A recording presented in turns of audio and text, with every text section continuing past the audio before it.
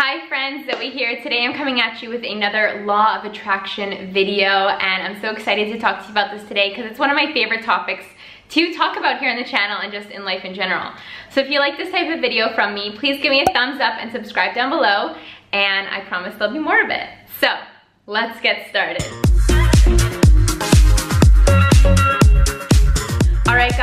So today I'm going to be talking to you about one of my favorite law of attraction techniques and it is called the catalog of life. And this is a technique that you can practice every single day. So you may be familiar with this concept as it is mentioned in some of the Rhonda Byrne books. For example, The Power, which is a powerful law of attraction book that helps you bring all of your manifestation powers to you. I highly recommend it.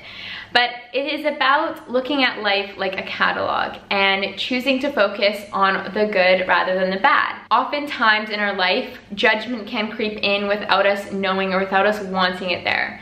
I'm going to give you an example. Let's say you're walking down the street and you see a couple and they're super lovey-dovey and you're just kind of like, ugh, you roll your eyes, you're like, my goodness, like they're out there on the street, why? And then another day you might walk down the street and be like, oh, that's so sweet. They really love each other. I want you to think about the universe presenting everything in front of you as a catalog. Like, for example, if you're Canadian, it's the Sears catalog. Remember the Wish book that would come around every time at Christmas? Give me a thumbs up if you're Canadian and you know what I'm talking about. But okay, so look at life the way that the universe has presented a catalog to you, let's say anytime you're walking down the street. If you see a couple being lovey-dovey and that's something you desire to have in your life, then send love. Think thoughts of, wow, that's cute, that's so sweet, I'm so happy for them. And in turn, you will get that because that's law of attraction. If you choose to come from a place of judgment like, ugh, get a room, they shouldn't be doing that on the street, then you're telling the universe that you don't want that and the universe isn't gonna show you that. And if you see someone walking down the street and maybe they're super athletic, fit, and you desire to be athletic and fit, don't think, wow, like I wish I could look like that. Think, wow, the universe is showing me this person to show me what I'm capable of and showing me that I could be fit and active just like them.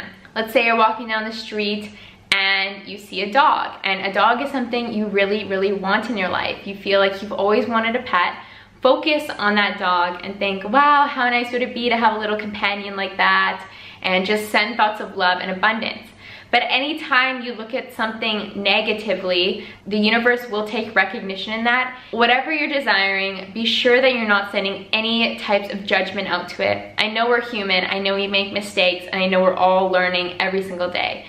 But if you think about life as this catalog, next time you're out about in the streets, maybe next time you're out in the mall, just think about the fact that if you send anything love that presents itself in your path, you're letting the universe know that you're basically circling it in the catalog and it's something you want to see manifest into your own life. I find this exercise very fun and very exciting and it's something that can be practiced every day from walking down the street, from being in the office, going to Starbucks, walking through the mall and looking at clothing. Anything that you see that you like, know that it's available to you. Send it love and picture yourself circling it in the catalog of life as something you want to see manifest. Your mood will get so much more positive the more and more that you see that the universe is trying to show you what is available to you. So I hope this video helped you guys, it brightened your day somehow. If it did, please give me a thumbs up and subscribe down below and I'll see you again very soon. Bye!